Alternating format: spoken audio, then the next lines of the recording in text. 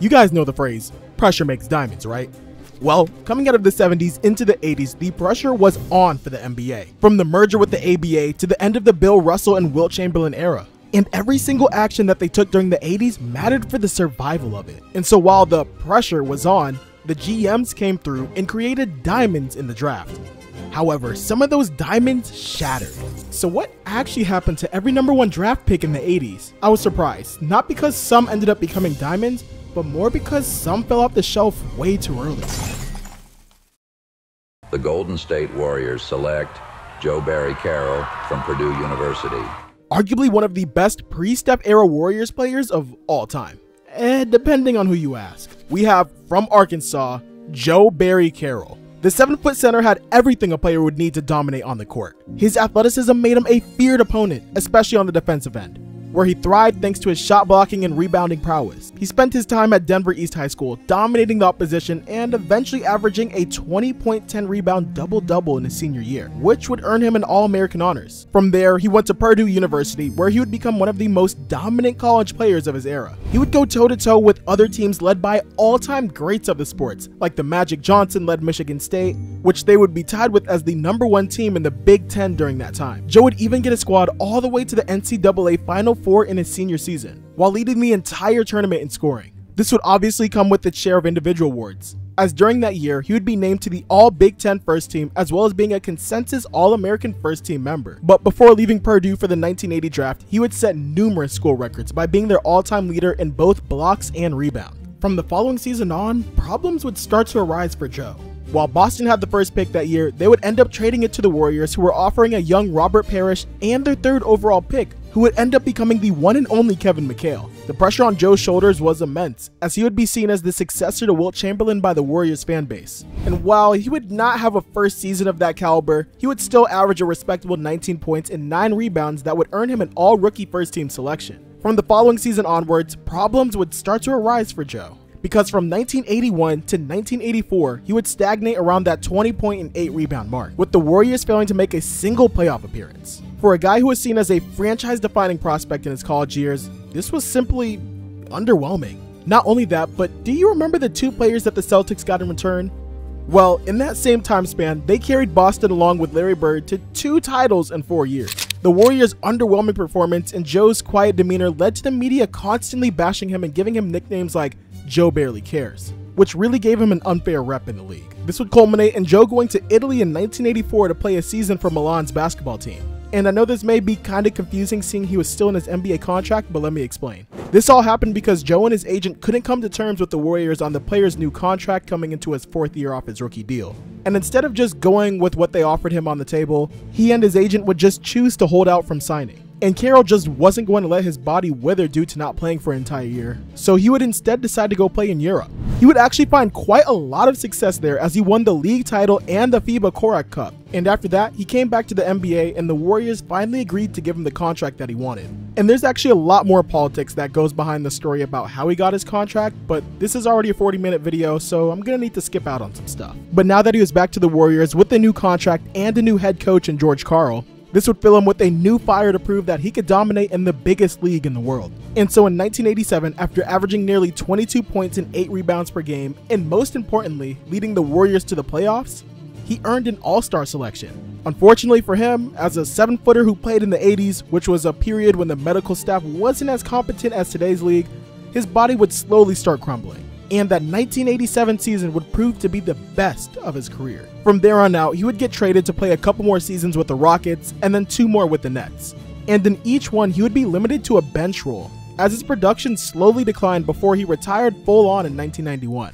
Away from the court, Joe would finally be able to put time into the activities that he really enjoyed, as he became a very engaged social advocate, fighting for wrongful imprisonments, and he was able to find the time to get his painting career going. Now here's what we didn't expect. He would find a lot of success as an investment advisor and an author. His Carroll Group, founded in 1993, works as a wealth advisory for high net worth families and athletes. He also wrote numerous books published under his own publishing company. His philanthropy work is quite exceptional too, as his Broadview Foundation has funded college scholarships as well as financing elder care, homeless shelters, and numerous other nonprofits in Atlanta. The Dallas Mavericks select Mark Aguirre from DePaul University.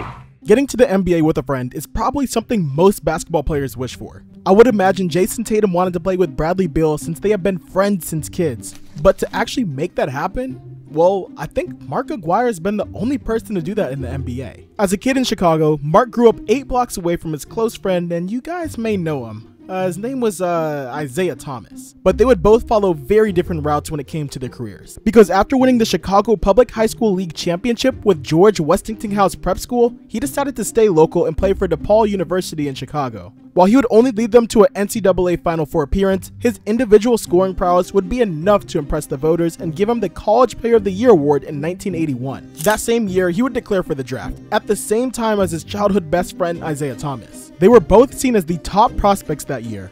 But according to reporter Dan Dakich, Isiah allegedly tanked his interview on purpose to get Mark to be the first overall pick. And so, the Dallas Mavericks would draft Mark with their number one overall pick. He would immediately prove to be a walking bucket, averaging more than 18 points per game in just his rookie season. He would steadily keep getting better, averaging 24 points per game as a sophomore, before upping that up to 29 in his third season. Along with this, Dallas's record was slowly going up. He would earn three All Star selections during his Mav tenure, and even getting them as far as Game 7 of the Western Conference Finals in 1988 before falling to the, you know, Showtime Lakers. Unfortunately, despite his crazy offensive game, he was seen as an underachiever. That combined with big locker room problems as the other players didn't like him, would end up getting him traded to the Pistons in the summer of 1988. And take a wild guess. Do you know who was on the Pistons at that time? Yeah, his best friend Isiah Thomas. Rumors have it that he was the one who pushed for a Mark Aguirre trade, and that proved to be a genius decision. Mark would accept a more minor role than the one that he had in Dallas, and the scoring would prove beneficial to the Pistons, as they would go on to earn two rings in his first two seasons there. I mean, he was so selfless that he was the one to ask the coach to up Dennis Rodman's minutes and lower his, knowing that it was the better decision for the team. As age would take a toll on his body, he would slowly start declining, and he would spend one lone season with the Clippers in 93 before deciding to retire. There is this iconic quote from Isiah Thomas who said that Aguirre basically flushed down the toilet of a Hall of Fame career to be a champion. After all, he went from being the top dog in Dallas, a guy who was averaging nearly 30 points per game in a season, to a more background role player, all for the sake of championships. I mean, at the end of the day, his resume is still quite impressive. This guy was a three time All Star who scored more than 18,000 points over the course of his career, and obviously has two rings. Now, while he isn't a first ballot type of player, I think that he should have gotten a spot in the Hall of Fame. But what do you guys think? Was his career good enough to have his name next to the all time greats? I'd love to know what you guys have to say about it in the comments below. While Mark left the Mavericks as a player hated by the fans, he achieved the ring that they dreamed of nearly 20 years before the franchise would get its own. After retiring, he decided to live a tranquil post NBA life, getting away from the court, until his appointment just a few weeks ago as the special assistant to the athletic director of DePaul, his old college.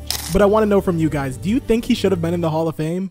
The Los Angeles Lakers select James Worthy from University of North Carolina. From one champion to another, we now focus on one of the clutchest players of all time, James Worthy. Ever since he started basketball, he was always the guy who stepped up his game when his team needed it on the biggest stage. As just a high school senior, he would average 22 points, 12 rebounds, and 5 assists to lead his school all the way to the state championship game. His talent would get the recognition that it deserves, as he would take a part in the 1979 McDonald's All-American game. The North Carolina native would then choose to stay in the state for college and attend UNC. After missing his freshman year due to a broken ankle, he would quickly cement his alpha status in a squad full of future NBA stars and carry them to success. He first carried them to a second place finish in the 1981 NCAA tournament as a freshman. Then in his junior season, he would lead his team in scoring en route to winning the 1982 NCAA title. He would earn the NCAA's Most Outstanding Player award ahead of his other teammates like future NBA champion Sam Perkins and a certain North Carolina freshman called uh, Michael Jordan. Worthy was such a big sensation that year that he would even make the cover of Sports Illustrated magazine and cement his status as the consensus number one prospect in the whole country. This would lead him to forego his senior season and declare for the 1982 NBA draft. While the number one overall pick that year should have been Cleveland, they had actually traded its rights to the LA Lakers, which meant that James Worthy would find himself added to a squad that had just won the NBA title only a couple months prior to the draft. And for a born winner like him, this was the best situation he could have dreamed for. In the middle of the star-studded Showtime Lakers filled with NBA legends like Magic Johnson, Kareem Abdul-Jabbar, Worthy would dazzle the NBA world in his own way. Despite breaking his leg in his rookie season, James would get the starting spot on the team as a sophomore as soon as he was healthy again. He would be a vital part of the Lakers returning to the finals that year again and he would average 22 points on a crazy 63% shooting in the finals. Despite this, the Lakers would still fall to the Celtics in 7 games. The following season though, he would keep those same averages, but this time over the entire playoffs and help get the Lakers back to the finals. In there, a prime Showtime team would steamroll over the Celtics. This back and forth between the two teams is what made the 80s in the NBA so unique. And in this decade, Worthy would have his moment in glory in 1988 in the finals against the Pistons, with a 36 point triple double in Game 7 to clinch the ring, earning himself a finals MVP.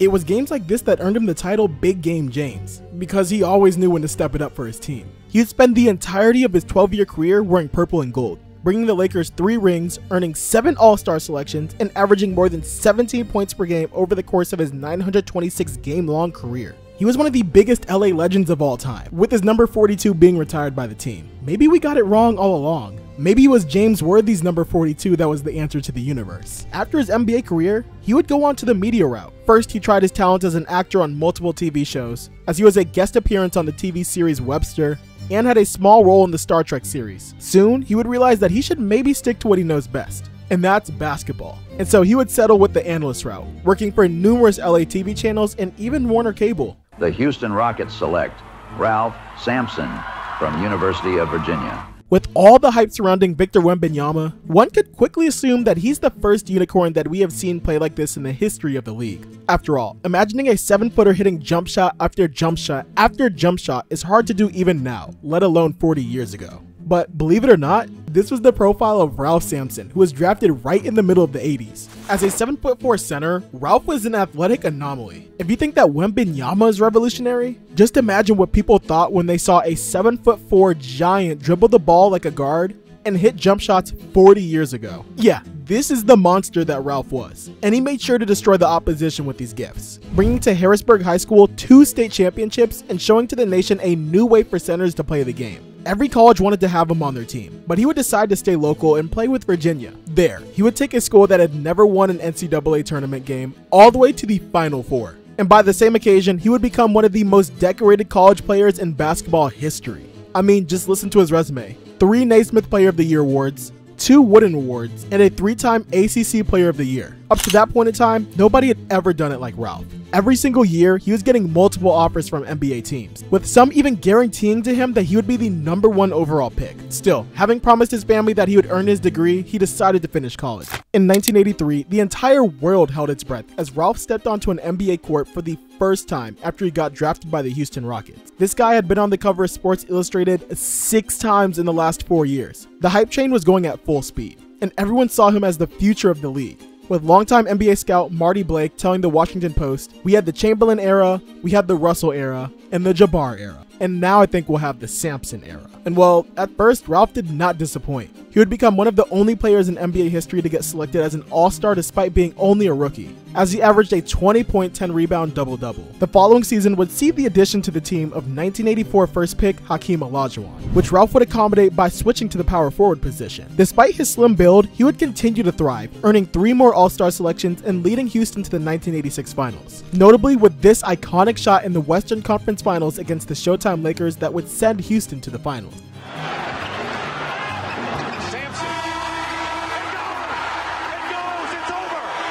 Unfortunately, that final series would become the beginning of the end for him. First of all, his attitude issues would flare up as he notoriously punched Boston 6-1 guard Jerry Sichting out of frustration during Game 5 of this final. The Rockets would end up losing that series, with Ralph receiving multiple death threats from Celtics fans for going after a player much smaller than him. Secondly, that would be the last season in which he would be 100% healthy, from back injuries to knees that needed to be drained. The 7-foot body that gave Ralph his success would become the source of his downfall. Just one year after those finals, despite Sampson actually being named to the All-Star game that season, he would get traded to the Golden State Warriors. Can you guess who the Rockets got in return? It was actually none other than the 1980 NBA draft first overall pick, Joe Barry Carroll. The thing is that at that point in time, it had gotten clear to the Rockets organization that Ralph was ultimately limited compared to Hakeem. And if they hoped to get to new heights, then they had to build the entire team around Hakeem. The Warriors were also welcoming as it had a new beginning for the franchise, with George Karl, the team's coach at the time, declaring that Sampson's addition changed the course of a sad franchise. Unfortunately for them, while the skill was still there, his body just couldn't handle the NBA rhythm anymore. And so he would miss half the games in his two seasons there before getting shipped to Sacramento. And after two 20 game seasons there, they would also deal him to the New Jersey Nets, as they just couldn't keep paying a guy who was missing nearly 75% of the games, and 10 games with them would be enough to convince him to retire. The thing is that Ralph just wanted to free himself from all the attention. Despite having had cameras all over him since high school days, according to his friends and family, Sampson is actually a very timid guy who doesn't like public attention. And with the amount of scrutiny that he was getting with every injury, he just wanted it to stop. The downfall would unfortunately continue even after he finished his career, as he would lose a big chunk of his NBA earnings thanks to his agent. Tom Collins, allegedly just squandering it away. Not only that, but despite trying his hand at multiple business endeavors like a basketball school, Sampson Marketing, and Sampson Sportswear, none would really succeed. And this streak of bad luck would end up hitting him on the legal side of things starting in 2003. After a divorce from his wife of 17 years, multiple cases of child support from different mothers would get brought up to Ralph. He would even serve two months in a prison camp near Atlanta in 2007 after accounts of mail fraud done to buy an SUV. In 2012, though, he would catch a break and get the ultimate honor in basketball, as he got inducted into the Basketball Hall of Fame. Now, this decision was seen as quite controversial at the time, considering his personal life stories. But the thing is that a lot of his close friends would end up coming out to defend his name, as everyone who personally knew him couldn't find a single bad thing to say about him. Ralph is one of those players who was definitely ahead of their time playing wise. Now, don't get me wrong, he is still a four time All Star, which is better than 99% of the players who have played in the NBA. But only one can imagine the heights that Ralph could have reached in a league where centers are encouraged to shoot, and where NBA players have modern medicine at their disposal to help them play as long as physically possible. But for all of you guys that did watch Ralph Sampson play, what did you think of him? Do you think that he would have been able to survive in today's NBA? The Houston Rockets, who are represented here by owner Charlie Thomas and his daughter Tracy, select Hakeem Olajuwon of the University of Houston. Man, this is my favorite person of the draft. Imagine being so great that despite getting drafted before Michael Jordan, no one ever calls you a bust or regrets picking you before him. Selected as the number one pick in the 1984 draft, little did Hakeem know that a couple of spots behind him, the guy who would revolutionize the sport of basketball would get drafted. But let's not get ahead of ourselves. Hakeem's story started all the way in Africa as he was born in Lagos to Nigerian parents. He spent his childhood playing soccer and only discovered basketball at the age of 15. At that point, he would fall in love with the game and do everything to play abroad. He would attract the eye of the University of Houston, who invited him for a tryout. But he was such a low status prospect that he found no one waiting for him at the airport, and he found himself having to take a taxi to get to the university. In his first season there, he was like very raw and would only make the jump to the star that we know today after tirelessly training under Moses Malone during the off seasons. From that point on, he would carry Houston to two NCAA championship game appearances, and despite not winning, he would still be honored with the Most Outstanding Player award in 1983. He was also a first team All American by his senior year, and by that time, he was already nicknamed the Dream, thanks to his absurd dunks and his footwork. With the Houston Rockets winning the 1984 coin flip, it was obvious to everyone that the number one pick was going to be Hakeem. He was a local hero, and a prospect like never seen before in Houston. His first few years would be spent as Ralph Sampson's sidekick, and together the Twin Towers would even get to the 1996 NBA Finals. And as the years went on, Hakeem continued growing his skill set. It was clear who the alpha was, and in 1988 they would trade Ralph to the Warriors and make Houston Hakeem's team. I mean, not only that, he was blossoming into one of the best centers ever. He would even lead the league in both rebounds and blocks in 1990 and record a quadruple double in a March game against the Bucks. But his team's record was so bad that he would not get voted for any of the major awards. Even without those awards, he would continue building his own legend in the city, waiting for the perfect moment to strike. And in 1993, that window of opportunity opened for him. Why?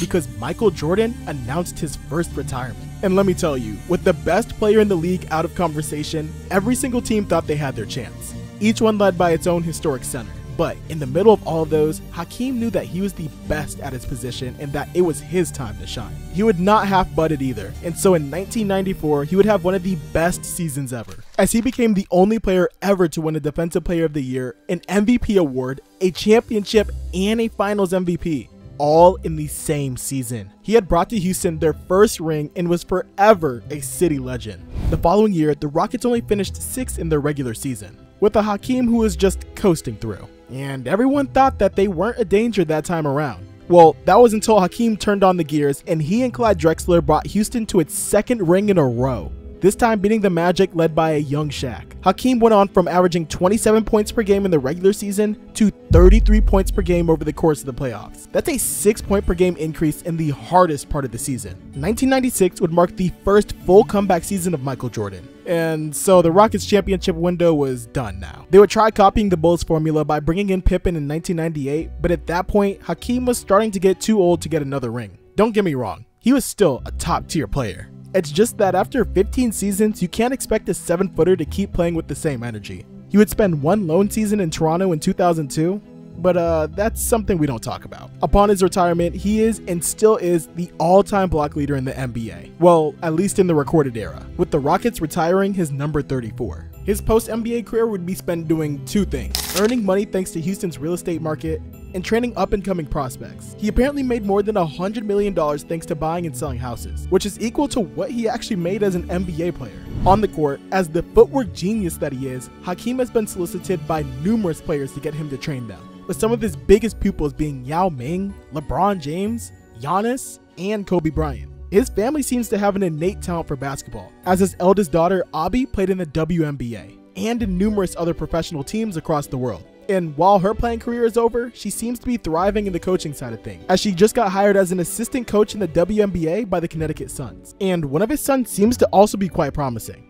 with his son Abdullah, who averaged a double double as a starter for the Clements Rangers and led his high school team to their best record in nearly 10 years. But now he is in his freshman year of college playing for the Detroit Mercy Titan, and he's one of those young players that we should definitely keep an eye on in the future. Differently, and here's David Stern with the announcement. Select Patrick Ewing.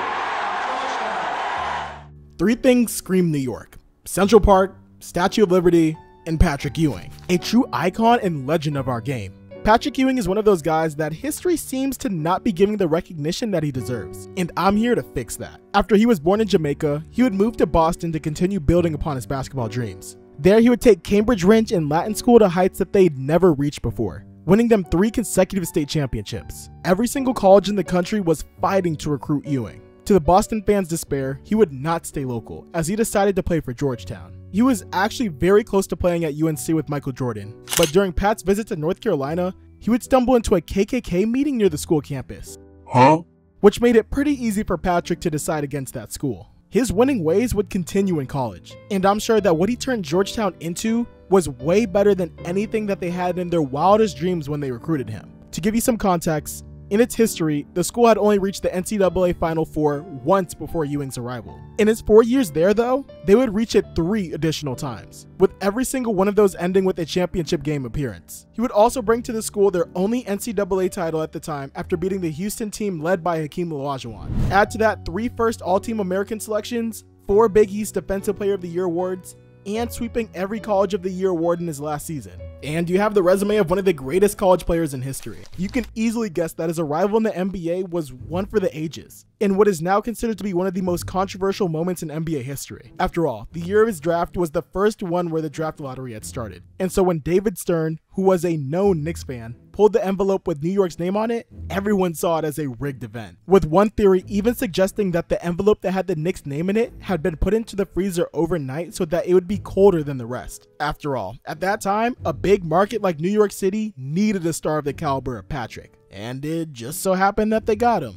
Anyway, he would prove to be everything that they had been promised, earning 11 All Star selections in his first 12 years in the league. He made the Knicks team a feared franchise in the 90s, and in an era where centers dominated, he stood out as one of those big names that raffled all the awards. On the team side of things, things were a bit tougher. After all, when you spend your prime playing in a conference with MJ's Bulls, it's kind of hard to go far in the playoffs. And the biggest regret in Patrick's career is probably when MJ was retired in 1995 and he missed a finger roll in Game 7 of the semifinals against the Pacers. The inbounds to Ewing, down to three, down to two, Ewing, not over the hit, and it's all over. I mean, he did get to the finals in 1994, but he would totally get outplayed by Hakeem, who wanted that title more than anything. And this would be the legacy of Patrick Ewing, an individual monster who gave New York their best years but just wasn't able to get them to the ring. And when you get a guy like Shaq crying when talking about you, you know that you're special. Pat did end up playing a couple more years on other teams after his Knicks tenure, but those are like the Tony Parker Charlotte years or the Hakeem Toronto ones. We don't talk about them. He would quickly take his experience in basketball and turn it towards coaching. As early as 2002, he was already an assistant coach for the Wizards. From there on out, he would keep jumping from team to team, eventually helping the Magic get to the finals in 2009 thanks to his mentorship to Dwight Howard. After a few more years as an assistant for the Hornets, and after having gotten the chance to coach his son in the Summer League, Pat would try a head coach role in 2017 for Georgetown. While he would help them win the 2021 Big East Championship, his overall results were quite mediocre, and that led him to being fired in 2023. Even though Patrick Ewing never won a ring, he still had a huge influence on basketball in the late 80s and the 90s. And for that, he will never be forgotten in NBA history, and he especially won't be forgotten in New York history. The Cleveland Cavaliers select Brad Daugherty of the University of North Carolina. For any normal NBA player, earning multiple All Star selections is hard. Setting historic firsts in car racing is even harder. Doing both, though, that's something that only Brad Daugherty could do. Brad was a genius. I mean, he was so smart that he skipped the eighth grade. And despite only starting basketball, and hear me out, 10th grade, he would carry his high school team all the way to the state finals in his senior year. He always was the youngest guy in his class and his squad. And he would decide to play college ball for the University of North Carolina. That would be no different because as a freshman, Brad was only 16 years old. As around him in the team were recent NCAA winners like Sam Perkins and uh, Michael Jordan. The 6'10 center would not be intimidated as he started slowly but surely developing his game. This would culminate in 1986 when he would be named to the All ACC first team as well as the All American first team. From there on, he would catch the eye of the Cleveland Cavaliers. He would be part of the young core that Cleveland was trying to build along with Ron Harper and John Williams and to their credit, all three would be in the all rookie team that season. It's just that Brad would be able to take the leap forward to stardom and start earning one All Star selection after another thanks to his 20.10 rebound seasons, with a grand total of five selections. Unfortunately, he wouldn't go much higher than that, and at just 28 years old in 1994, Brad would be forced to retire due to nagging back problems, signaling the end of a career who a guy who had been given more time, he probably could have made it into the Basketball Hall of Fame. But that's not the end of Brad's story. If anything, that's actually the start. Brad would quickly find this as an opportunity to turn towards one of his favorite things in the world, and that's NASCAR racing. He would first co own a NASCAR Camping World Truck Series team in 1997 before co owning the JTG Daugherty Racing Team and getting into the real NASCAR Cup Series. In 2023, after his team's driver Ricky Stenhouse Jr. won the Daytona 500, Brad would become the first black team principal to win that race. He would also work with both ESPN and NBC as an analyst and caster, with multiple NASCAR fans claiming that if he continues on this path, he could eventually get into the Hall of Fame of that sport. Not the kind of success that we would expect from an NBA first overall pick, but still impressive in its own way. The San Antonio Spurs select David Robinson from Navy. If you see the Spurs getting a first overall pick and drafting a big man with it, chances are that he's going to be pretty successful, and David Robinson is no exception. Out of any player in NBA history, David's beginnings are probably the most intriguing. Because up until his senior year in high school, he had never played on a basketball team. But seeing how he had a growth spurt just before that senior year, the Osbourn Park High School team coach would get on to him about joining the team. And from there, David's talent in the sport would slowly but surely start shining. For college, he would choose the U.S. Naval Academy, where he chose to major in math. Now, at the time, the 6'6 Robinson only had a couple of basketball seasons under his belt, and getting to the NBA was probably not even a dream at that point but he would continue to grow. And that, adding to the Navy's physical training, made him an athletic monster. In his senior year, Robinson would sweep all the College Player of the Year awards and lead Naval Academy to an NCAA Final 8 appearance. This was enough to get the Spurs to draft him with their first overall pick in 1987. But he would not see an NBA court for two years, as he had an obligation to serve on active duty for at least two years. This would mean that we would only see him at the beginning of the 1989 season after he had earned his now iconic nickname, the Admiral. His rookie season was worth the wait for both Spurs fans and the NBA world. He would at the time cause the most significant turnaround ever done by a rookie. Spurs from a 21 and 61 record to a 56 and 26 one. This would be done thanks to one of the most impressive rookie stat lines in NBA history 24 points, 12 rebounds, and nearly 4 blocks and 2 steals. And yeah, he was named as the Rookie of the Year and was an All Star in the same season. One year was enough for him, though, to cement his status as a star in the league, and he was soon getting deals from every single corner, with Sega even making a game about him.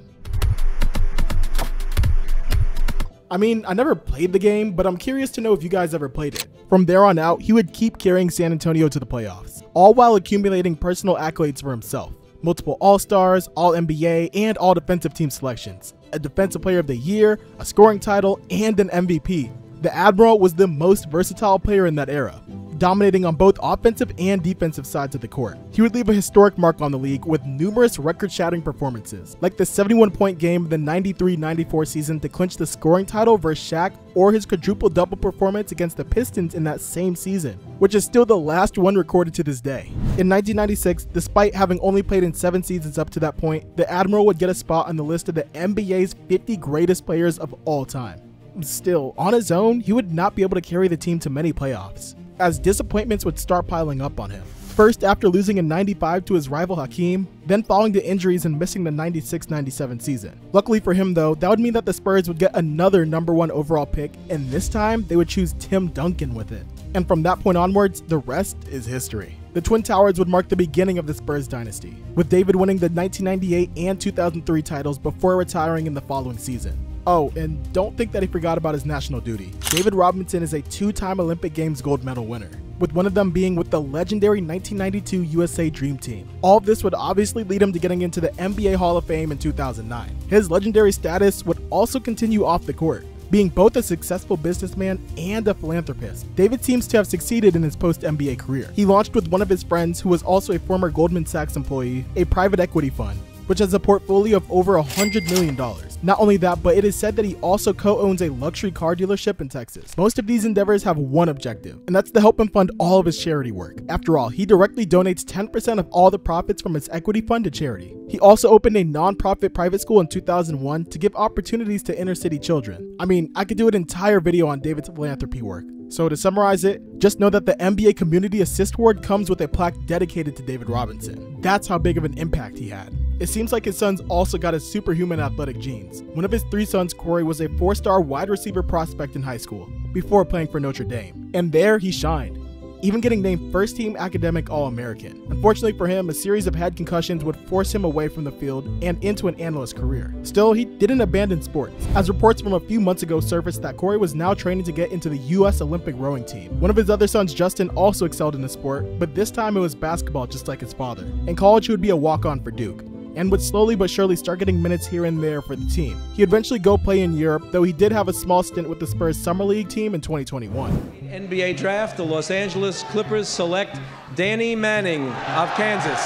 Yet another center, but this time it's the 6'10 college legend, Danny Manning. During his high school years, Danny would dominate two states. First as a junior leading Page High School to a 26-0 season and a North Carolina state championship. Then as a senior at Lawrence High School, he would be named the Kansas Player of the Year. He was an offensive juggernaut and a true scoring machine who could put the ball in the basket anywhere on the court. The jump from state star to national superstar would occur in his college years, because at that level, when it came to putting the ball in the basket, there was nobody like him. He would first carry Kansas to the NCAA Final Four in 1986, but would ultimately fall down to Duke. Still, Danny's name started to be more and more present in the mouth of basketball fans. In 1998, though, Danny's crowning moment would occur when he would lead Kansas to the NCAA title. The thing is, at that time, it was done in a way that no one had ever seen before. Imagine a team going into a tournament with a 21 11 record and still having hopes to win. This was the exact situation of the unremarkable 1998 Kansas University team at the beginning of the tournament. It's just that with every game that would go on, Danny would single-handedly carry the team to the following round, leading them to the title and getting honored as the most outstanding player in the tournament. This feat was so impressive that it would end up being called Danny and the Miracles, and it's still arguably the greatest single NCAA tournament performance by a player.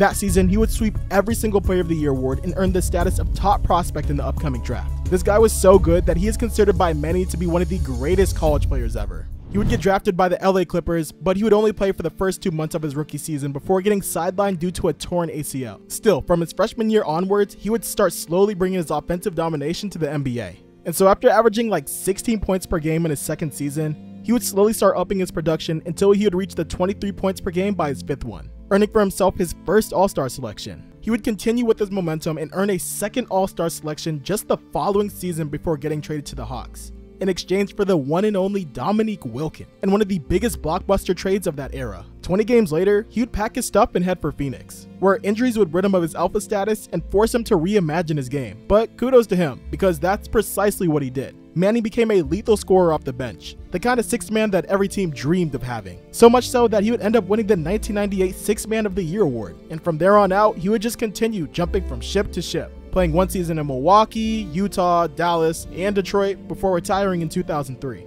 but he wouldn't stay away from basketball very long, as five years later, he was again on the bench at Kansas University, but this time as a coaching assistant. He would find great success in both recruiting and player development, sending 12 players to the NBA during his seven years there, and capping off this period with the 2008 NCAA title, coaching big schools like Tulsa, Maryland, and more recently, Louisville. It was in Tulsa that he had the most success though, earning Conference Coach of the Year back in 2014. Manning was also a legend away from the court. He was one of the most engaged athletes in philanthropy that we have ever seen. Try to think of like a random nonprofit, and chances are that Danny has already helped them. I'm talking about everything from Special Olympics to donating to community shelters, all the way to stuff like sponsoring youth basketball camps. We appreciate you, Manning.